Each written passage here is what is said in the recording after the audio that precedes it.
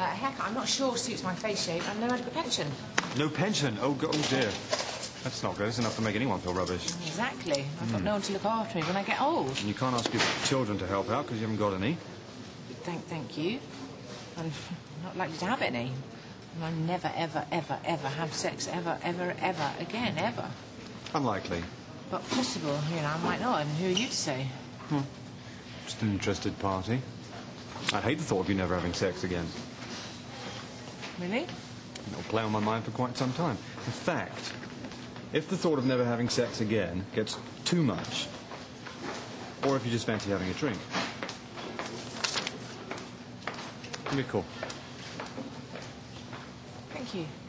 I'll see you. See ya. Who was that? No, nobody, no one, no one.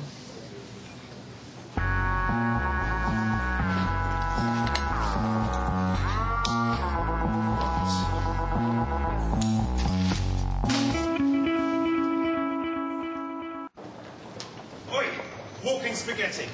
Are you talking to me? Yeah, yeah. I'm talking to you, spaghetti boy. Al dente. I'm sorry. Are you saying that I look like a piece of spaghetti? Yes. Farfallini man. You vertical streak of spaghetti.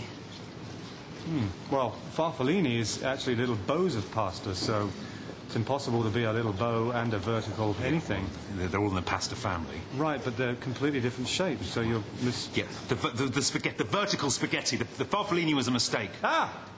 What is it you want? I'm, I'm warning you not to set your cap at Dr. Caroline Todd. Well, how very 18th century of you. She's going through a very vulnerable time at the moment, and I'm watching her back. Right. Well, you watch her back, and uh, I'll continue watching her lovely front. You'd better pay very close attention to what I'm saying, spaghetti boy. Or what?